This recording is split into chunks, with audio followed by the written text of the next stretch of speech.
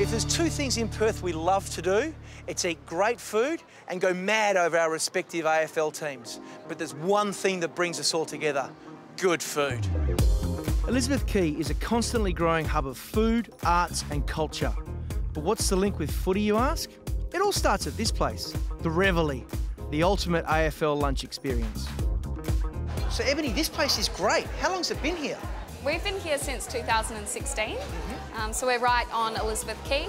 We've got three levels. The ground floor is more of a cafe style, it's quite relaxed. Burgers, coffees, cakes, things you'd share with friends and family. Yep. And then up here in the dining room, it's less casual than the Yep. ground floor. Yep. It's got a beautiful set menu. We do a chef's table, so it's a little more formal. Beautiful dinners and lunch kind of option.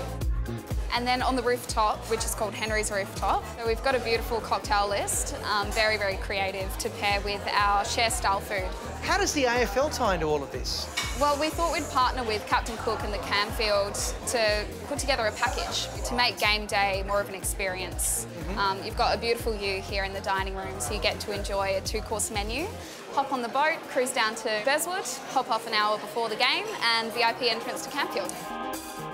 Such a unique dining experience. No pies and sausage rolls here. Nothing but fresh, local West Australian produce. We've got Fremantle, octopus, Manjimup potatoes, fantastic West Australian Sauvignon Blanc. Absolutely brilliant. With lunch out of the way, it's a short stroll to Barrack Street Jetty for a 25 minute cruise to the big game.